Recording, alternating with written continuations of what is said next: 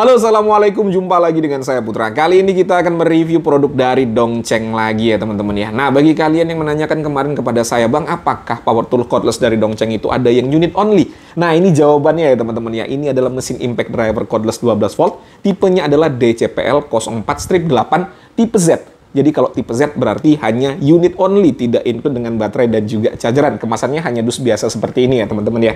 Nah ini kabar gembira nih bagi kalian yang ingin menghemat budget. Harganya pastinya lebih terjangkau. Langsung saja ya kita unboxing, kita lihat apa saja yang kita dapatkan pada paket pembelian.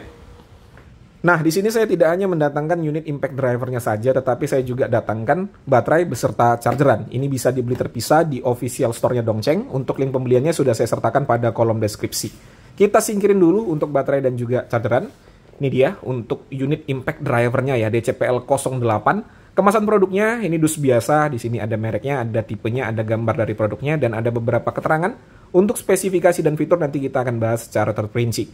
Nah, sudah terregistrasi K3L ya teman-teman ya. Jadi sudah resmi nih masuk ke Indonesia. K3L-nya sudah terdaftar. Langsung saja kita buka. Kita keluarkan semua ya biar nggak ribet ya. Nah, di sini ada kitab-kitabnya dan ada aksesoris ya. Kita dapat bit obeng, bit obeng PH2 nih ya. Lalu kita dapat belt clip. Nih, belt clipnya. Ini bisa dipasang di sini ya nanti ya. Nih. Nih kurang lebih seperti ini. Lalu ada buku petunjuk penggunaan masih berbahasa Inggris ya teman-teman ya. Jadi kalau mau dibaca silakan gunakan Google Lens bagi kalian yang tidak mengerti bahasa Inggris seperti saya. Nanti langsung diterjemahkan oleh Mbak Google. Lalu ini ada kartu garansi. Untuk garansinya ini tidak ada beda dengan produk Dongceng yang lain, jadi sama-sama 2 tahun ya. Ada dua lembar, yang satunya harus kalian kirim untuk mendaftarkan garansinya. Untuk service center dari Dongceng ada di 17 kota ya Jakarta, Bandung, Semarang, Jogja, Klaten, Purwokerto, Surabaya, Jember, dan Pasar, Medan, Jambi, Palembang, Tanjung Karang, Manado, Ujung Panjang, Ujung Panjang lagi, Ujung Pandang ya, dan Jayapura. Ada di 17 kota. Jadi jangan lupa kirim kartu garansinya untuk mendaftarkan garansi. Lalu di sini ada apa nih? Brosur ya. Oh, ini brosur mengenai ekosistem dari baterai 12 voltnya ini ya teman-teman ya. Jadi ada berapa nih? Ada banyak juga ya ternyata ya untuk ekosistemnya ya kita berharap masuk semua ke Indonesia. Jadi kalau kalian mau memelihara ya, memelihara ekosistem dari 12 voltnya Dongceng, ada ekosistemnya jadi lebih enak ya. Nah, ini dia untuk unit impact drivernya ya. Tidak ada beda dengan yang paket lengkap ya teman-teman ya. Jadi bentuknya sama, tidak ada beda. Nih.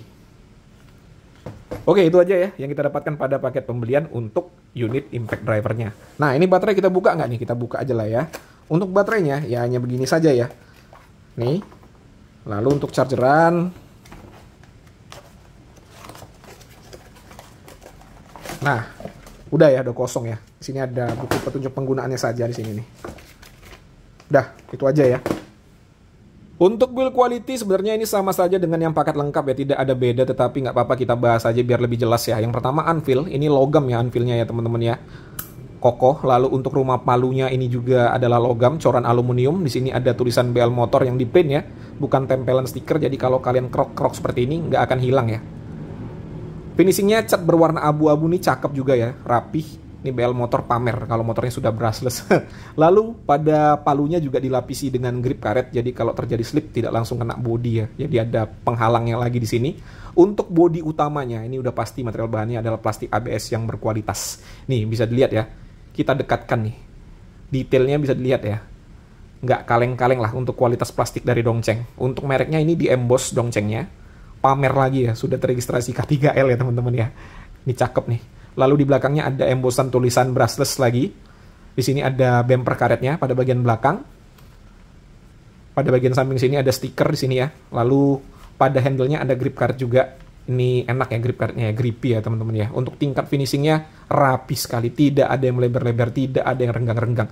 Ini adalah kualitas brand global ya. Jadi untuk build quality cakep teman-teman. Kita akan lihat untuk part yang bisa digerakkan. Kita pasang baterai dulu ya. Kita akan lihat untuk triggernya apakah responsif atau tidak. Oh, triggernya responsif sekali ya. Untuk forward dan reverse tidak ada masalah. Jadi untuk build quality ini jempolan ya teman-teman ya. Untuk fitur yang pertama, unveil-nya masih yang biasa ya, belum quick application karena di luar sana sudah ada yang quick application. Jadi untuk memasang bit obeng tidak perlu lagi ditarik-tarik, sementara untuk dongceng ini masih harus kita tarik. Nah, seperti biasa ya. Untuk melepas juga tinggal ditarik lagi. Nggak jadi masalah sebenarnya. Lalu di sini ada tiga mode untuk pengaturannya ya. Jadi elektronik ya pengaturannya. Yang pertama low yang warna biru. Nah ini linear ya. Untuk putarannya dia low dan untuk torsinya juga low atau yang paling rendah. Berikutnya H warna merah lampunya. Ini untuk putaran yang paling kencang dan torsi yang paling gede. Terakhir, auto yang warna hijau. Nah, ini putarannya akan lambat terlebih dahulu untuk penetrasi skrup ya. Setelah lubangnya tercipta atau lubangnya itu terbentuk, maka dia akan langsung menyesuaikan untuk RPM-nya. Ini RPM maksimalnya sama dengan yang H. Jadi sama dengan yang H ya untuk RPM maksimalnya. Lalu di sini ada indikator baterai ada LED light. Untuk LED lightnya belum LED shutdown ya, jadi langsung mati apabila kita lepas triggernya. Ada forward and reverse, putaran kanan, putaran kiri, dan apabila posisi di tengah, dia akan mengunci trigger. Dan terakhir ada variable speed pada trigger. Semakin dalam kita tekan, maka kecepatannya akan semakin kencang. Kita ubah dulu modenya, biar kelihatan ya.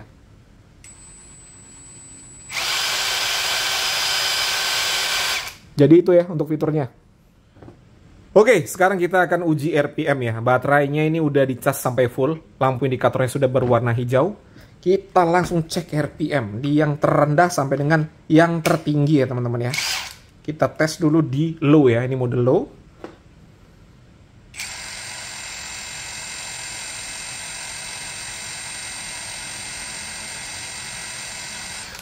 Low di angka 1360 RPM.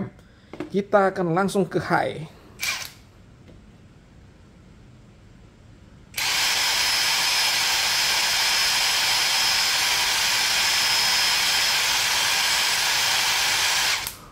Untuk high di angka 3337 RPM.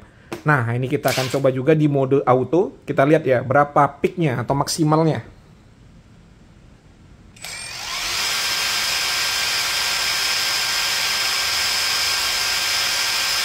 Ya, seperti yang saya katakan di awal tadi ya, peaknya di angka 3300-an juga ya.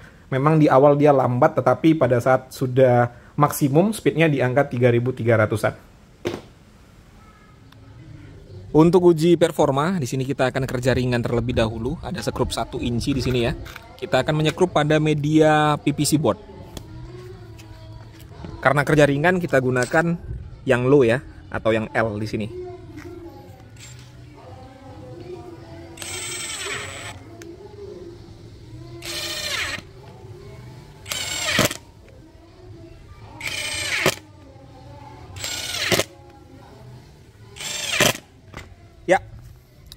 Untuk kerja ringan, torsinya pas ya teman-teman ya. Masuknya pas, tidak berlebihan.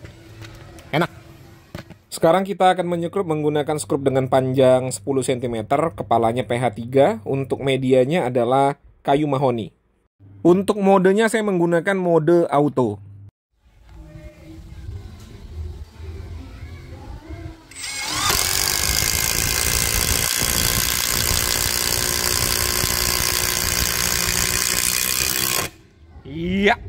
Cepat sekali.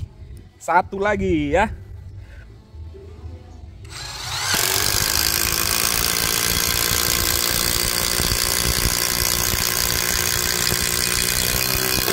Tidak ada terasa beda ya dengan yang paket lengkap ini sama saja.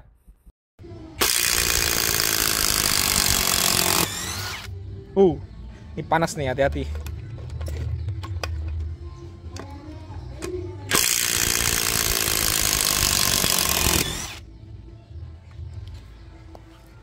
Skrup 10 cm masih terlalu mudah. Kita naikkan lagi bebannya ke skrup dengan panjang 13 cm, kepala hex 13 mili. Medianya masih sama.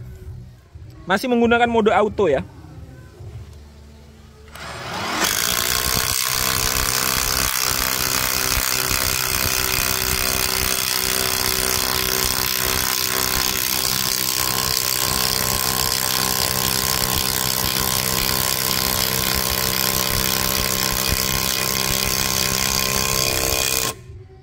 Uh, mantap ya. Sekarang kita buka.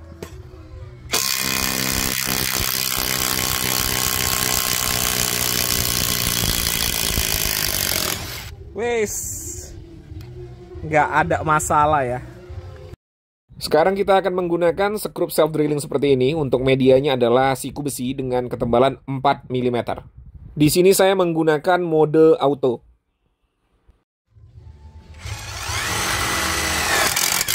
Wow, cepat sekali ya. Cepat sekali. Langsung masuk. Uh.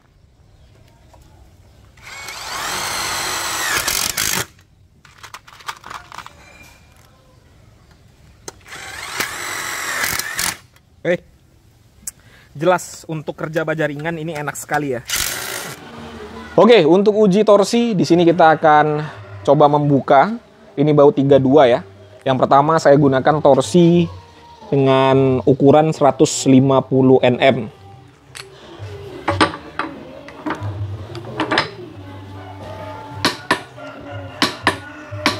Sudah bunyi ya, 150 Nm.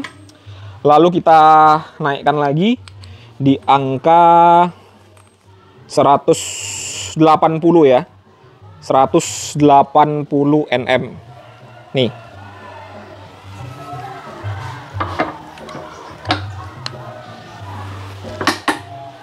Udah bunyi. Terakhir 200 nm ya. Kita set di angka 200 nm. Nih ya. 200 nm.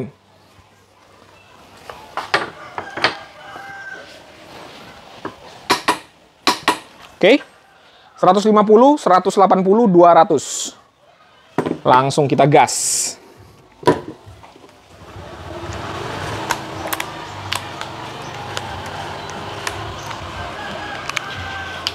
Ini saya set di mode high ya, atau yang warna merah. Bismillah. Oke, 150 cepat sekali ya. 180. 180 juga masih oke. 200 nm. 200 masih oke. Kita naikkan lagi nggak nih ya? Coba ya kita naikkan lagi ya. Ini kita eratkan dulu ya. Kita eratkan dulu sedikit. Nah. Kita akan coba di torsi 200 berapa ya? 240 ya, teman-teman ya. Pasang dulu.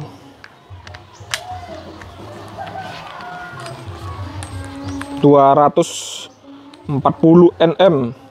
Kalau bisa berarti memang gila ya. Nih ya. 240 nm.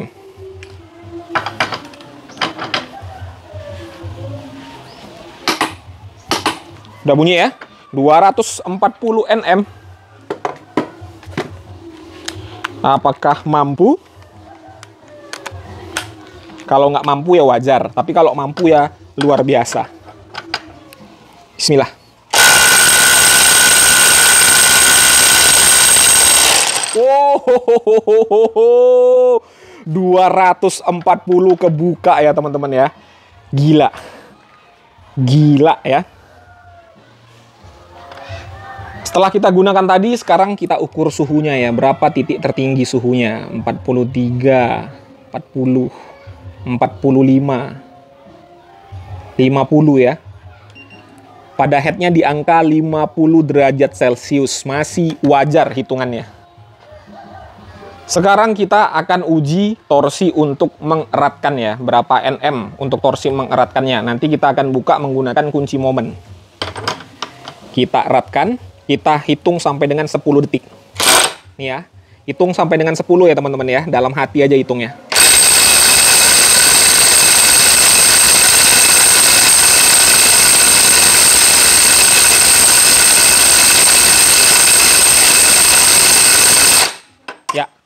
Cukup ya, 10 detik ya. Sekarang kita akan gunakan kunci momen. Yang pertama kita akan coba di angka 80 nm. Kalau langsung kebuka berarti ya memang segitu ya torsi untuk mengeratkannya.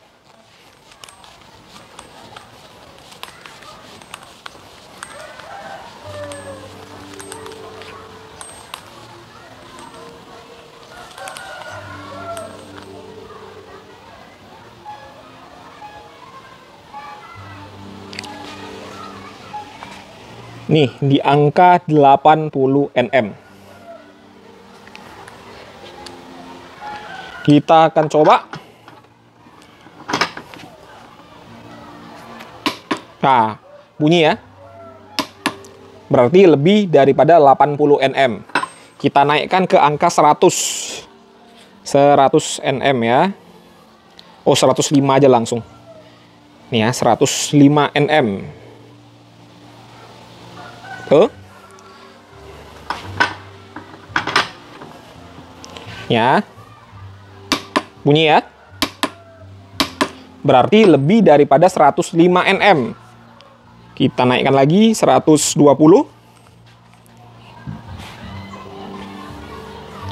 120 Nm.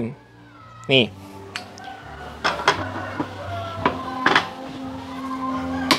Bunyi lebih dari 120 Nm ya. Kita naikkan lagi 150 Nm. 150 Nm.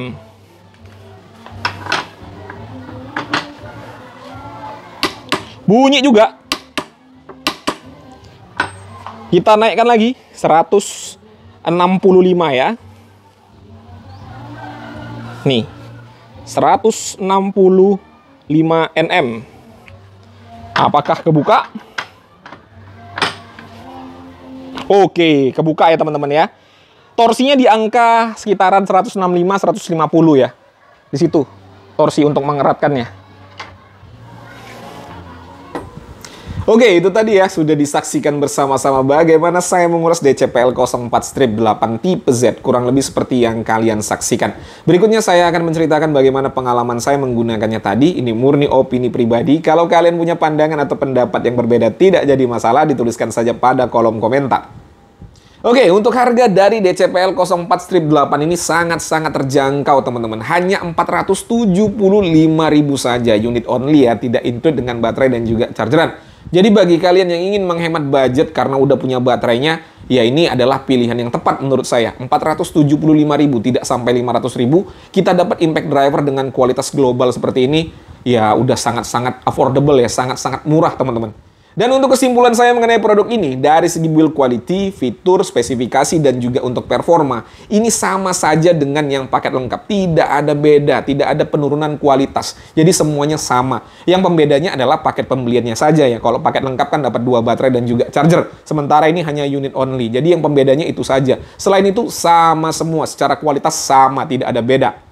Jadi bagi kalian yang ingin hemat budget dan juga ingin membeli produk tipe Z ini jangan ragu ya teman-teman ya. Tidak ada bedanya dengan yang paket lengkap. Garansinya juga sama, garansinya juga 2 tahun.